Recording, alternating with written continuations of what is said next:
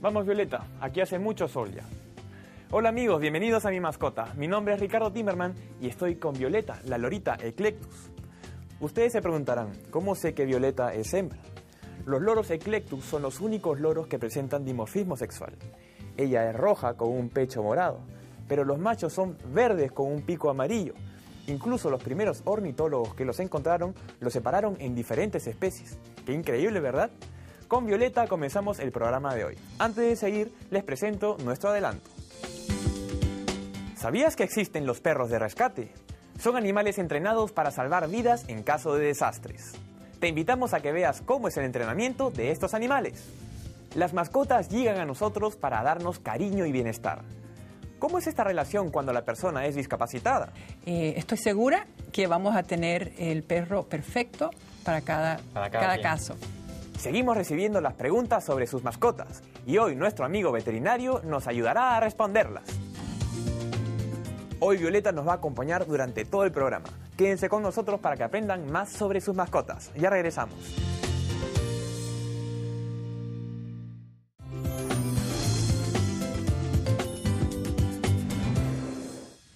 ¿Cuál de estos animales no pertenece a la familia de los cánidos? A. El perro. B. El coyote. C. El dingo. O D. El canguro.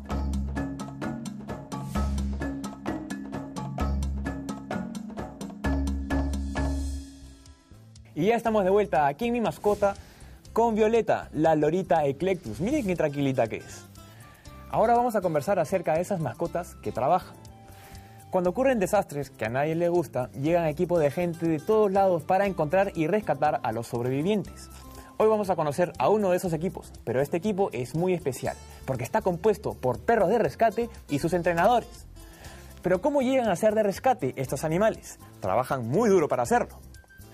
Fuimos al departamento de bomberos del condado de Miami-Dade y nos enseñaron cómo entrenan y cómo trabajan con sus animales. Vamos con ellos.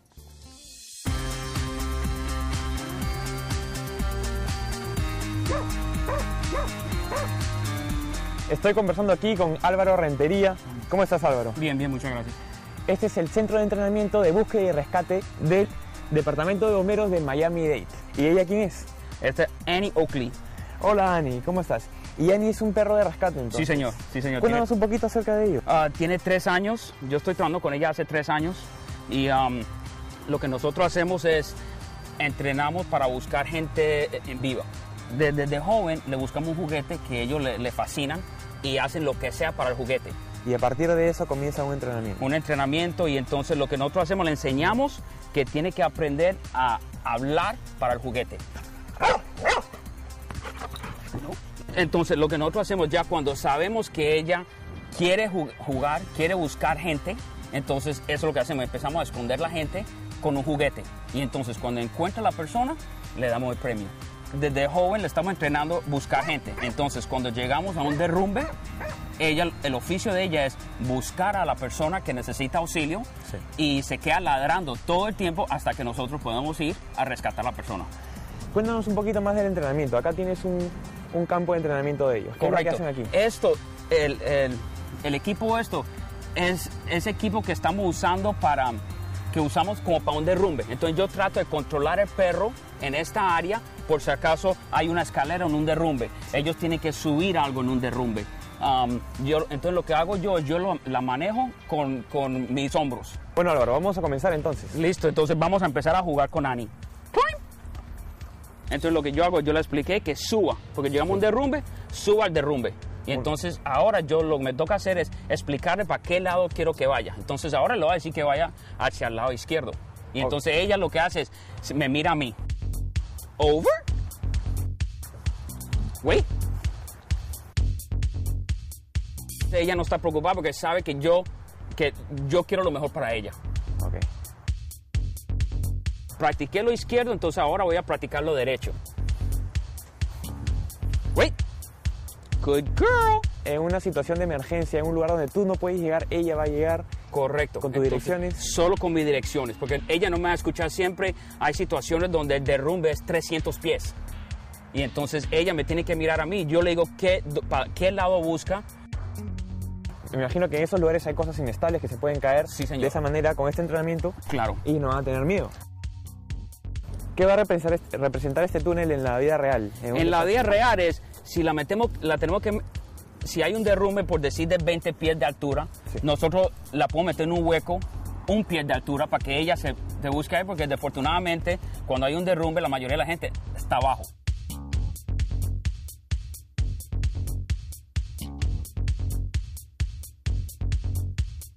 Esto acá, porque el perro, para que no se acostumbre que es un túnel, también puede ser un derrumbe, puede ser algo así, plano.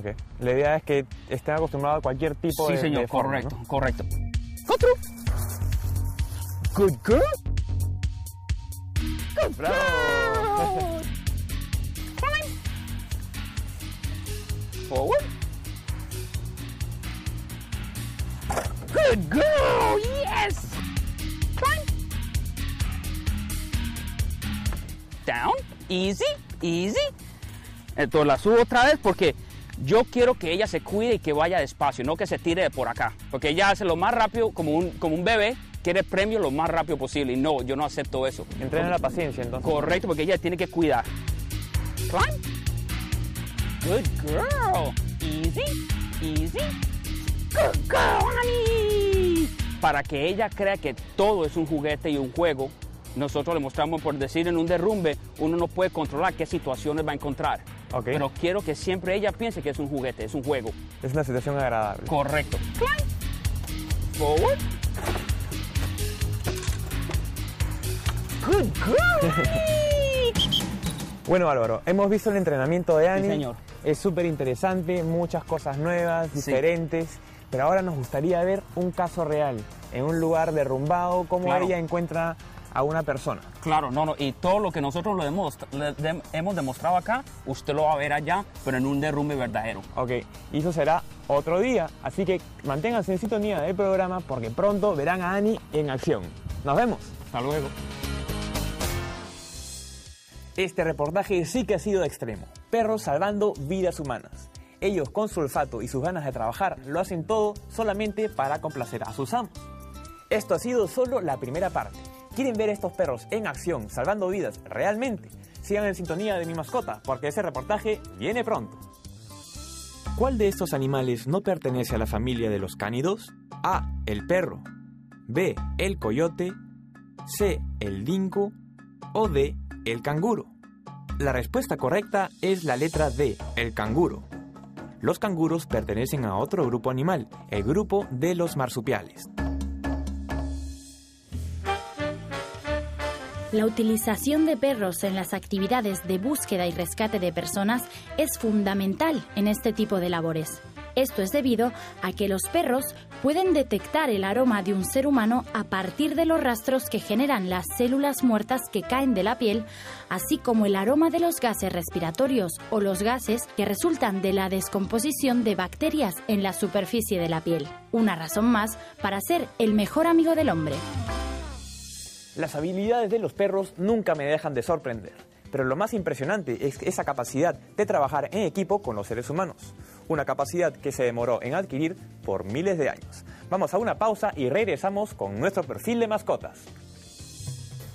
Bueno, en esos casos la mascota se convierte en lo más importante en la vida de la persona discapacitada, porque típicamente la mascota ayuda a la persona discapacitada a hacer algo esencial en su vida que no pueden hacer sin la ayuda de, de ese perro. Es posible que los cachorros tengan parásitos. Estos parásitos pueden transferirse a los cachorros a través de la placenta antes de nacer y nacer ya con parásitos.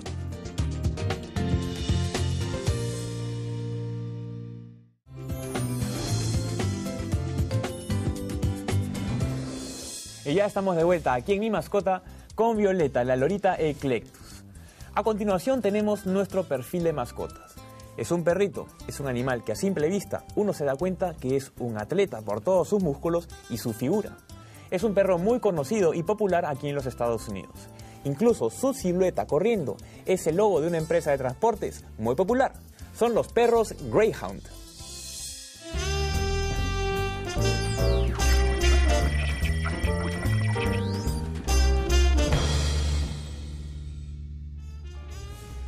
El Greyhound. Su tamaño de 27 a 30 pulgadas. Su peso va de 60 a 88 libras. Su pelo es fino y pegado al cuerpo. Puede ser de varios colores.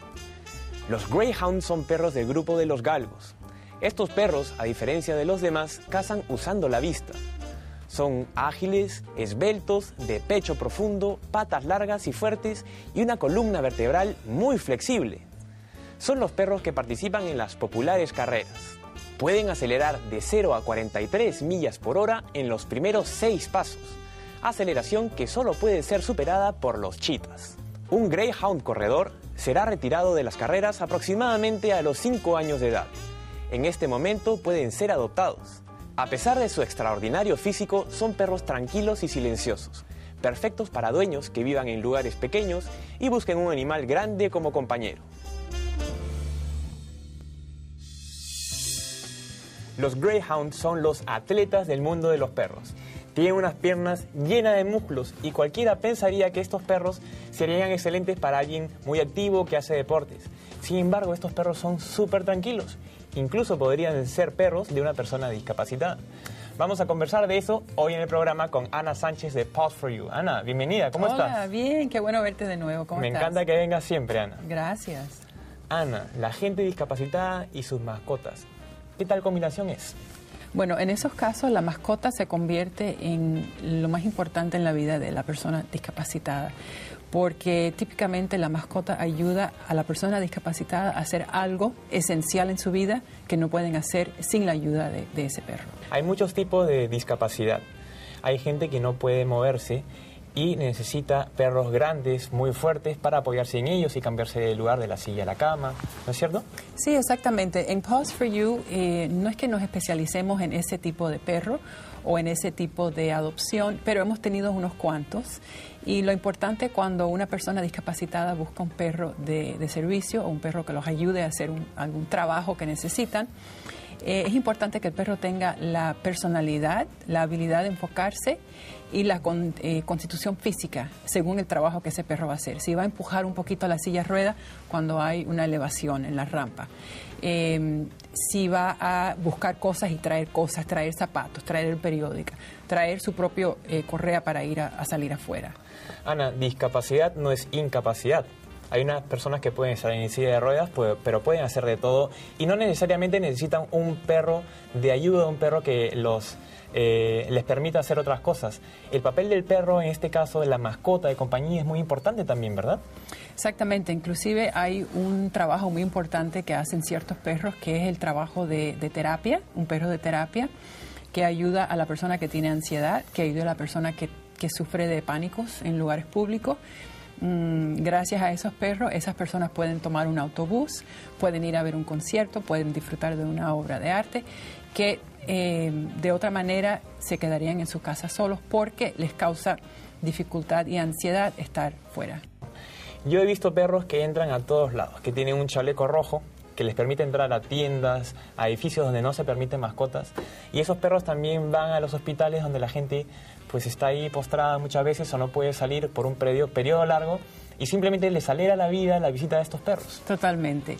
El, ah, el acta de americanos discapacitados provee que un perro de servicio puede acompañar a su, a su amo a todo lugar público. Eh, gracias a este acto, el perro no puede ser excluido ni la persona. Y bueno, pues eso ha ayudado mucho a que personas que de otra manera no pudieran disfrutar de una vida completamente eh, normal, de pronto sí lo hagan. Bueno, eso es excelente, ¿verdad?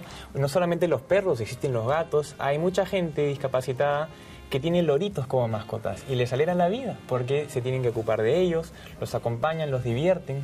En este momento tenemos una perra en Pause for You Rescue que se llama Savannah, que necesita estar al lado de alguien. Y la- estamos eh, ansiosos de que se presente una aplicación por ella de una persona que tiene exactamente esa situación. Una persona que también quiere compañía siempre. Y espero que Sabana encuentre un dueño muy pronto. Ay, sí, ojalá. Yo sé- estoy seguro que es una perra muy linda. Yo te cuento el caso de, de los niños que tienen autismo. Estos niños muchas veces no se pueden relacionar con otras personas. Pero con unos perros, con una mascota, se pueden relacionar y los ayudan a relacionarse con el mundo exterior. Qué interesante, ¿verdad? Sí, inclusive en la aplicación en Pause for You Rescue preguntamos sobre los miembros de la familia. Y yo personalmente he hecho adopciones a una pareja eh, que lo primero que me dijeron es mi niño tiene un nivel de autismo moderado. Mi niño ya sabemos que disfruta y beneficia, se beneficia enormemente de un cierto tipo de perro. Entonces yo dije, bueno, perfecto, vamos a repasar todos los perros que tienen estas condiciones. Eh, y le presentamos como a cinco perros. Y al final se llevaron a Charlie y ha sido una combinación perfecta. El niño eh, disfruta mucho, el, perro lo, calma y el niño puede ir a ciertos lugares eh, que anteriormente no le era fácil. El perro va con él a todos sitios y el niño está súper eh, calmado y alegre. El perro lo ha ayudado muchísimo. excelente, es increíble lo que las mascotas pueden ser por nosotros los humanos, ¿verdad? Increíble. Me encanta todo lo que nos cuentas cada vez que vienes, pero el tiempo se nos ha acabado.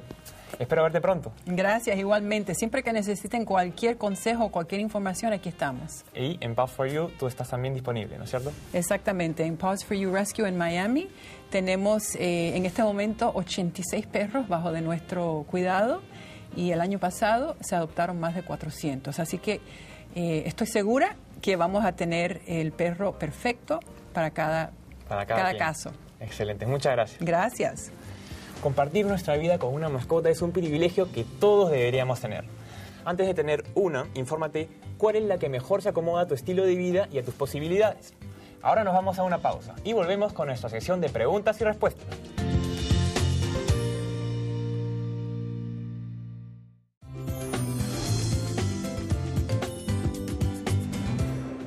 Y ya estamos de vuelta aquí en Mi Mascota con nuestra amiguita Violeta, la lorita Eclectus. A continuación, nuestra sección de preguntas y respuestas. Va a ayudarnos hoy el doctor Alberto Stark desde el Miami Animal Hospital. Vamos a ver cuál es la primera pregunta del día de hoy.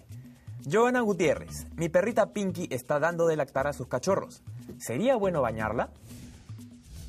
Sí, Joana. Eh, puedes bañar la Pinky con un shampoo que sea de muy buena calidad, que no tenga jabones y recordad de enjuagar muy bien la zona de las mamas porque los cachorros si sienten un olor o algo distinto a lo que había antes puede ser que dejen de lactar. Joana, la lactación está dominada por hormonas. La hormona que libera la leche se libera desde el cerebro y llega ahí por torrente sanguíneo. Pero existe otra hormona, la hormona del estrés, que va a constreñir esos vasos que impiden que esta hormona llegue hacia las mamas. Si tu perrita Pinky está acostumbrada al baño, no hay problema. Si no lo está, no la bañes. ¿Qué pasó, Violeta?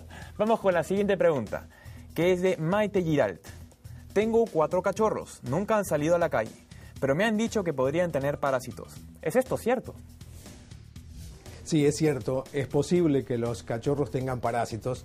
Estos parásitos pueden transferirse a los cachorros a través de la placenta antes de nacer y nacer ya con parásitos. Otra forma de contagio es por la leche materna y por supuesto por las lamidas que le puede provocar la madre al, limpiarlos.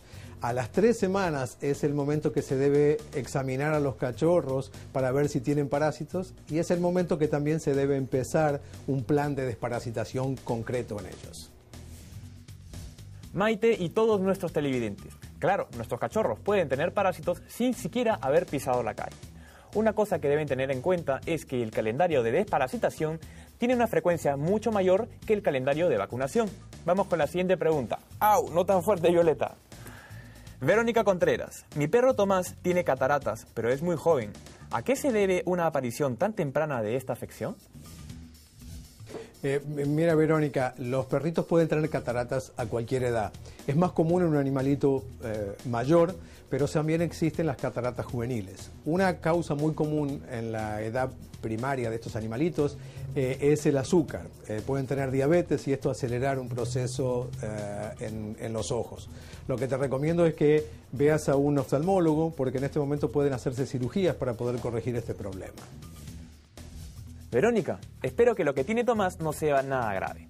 Yo te cuento que tengo una perrita que no ve y mucha gente ni se da cuenta. Es que tienen un muy buen olfato, muy buen oído y muy buena memoria. Ya, Violeta. bueno, esas han sido todas las preguntas del día de hoy. Ven por acá. Muchas gracias a todos ustedes y muchas gracias también a quién? A nuestro amigo el doctor Alberto Stark. Mi mascota lo hacemos entre todos. Si quieres estar en contacto con nosotros, no dudes en utilizar nuestras redes sociales.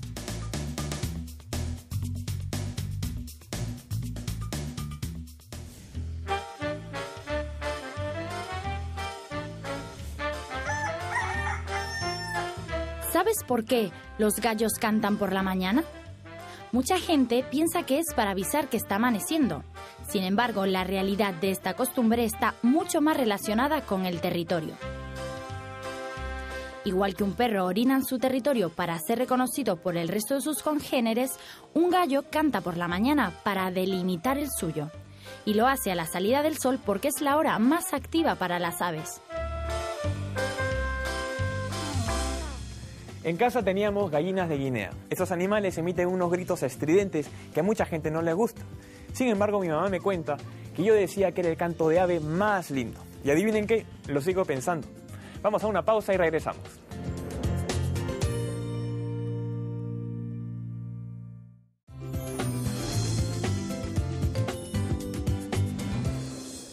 Hoy hemos visto con la compañía de Violeta cómo se entrenan a los perros de rescate. Fue un reportaje muy impresionante que nos hace pensar en lo valiosos que son estos animales para nuestra sociedad en casos de desastre. Cuéntanos un poquito acerca de ellos. Ah, tiene tres años, yo estoy trabajando con ella hace tres años y um, lo que nosotros hacemos es entrenamos para buscar gente en viva. Desde, desde joven le buscamos un juguete que ellos le, le fascinan y hacen lo que sea para el juguete. También conversamos sobre la relación entre las personas discapacitadas y sus mascotas. Y encontramos, por supuesto, que esta relación es muy positiva. Bueno, en esos casos la mascota se convierte en lo más importante en la vida de la persona discapacitada, porque típicamente la mascota ayuda a la persona discapacitada a hacer algo esencial en su vida que no pueden hacer sin la ayuda de, de ese perro. Y como en todos los programas, leímos y respondimos las preguntas que nos enviaron por internet. Muchas gracias por hacerlo. Estos parásitos pueden transferirse a los cachorros a través de la placenta antes de nacer. Bueno, el programa ya se ha terminado. Hemos pasado un muy buen momento con Violeta, ¿verdad? Espero que hayan aprendido mucho y que puedan aplicar todo eso con sus animales. Nos vemos en el próximo episodio.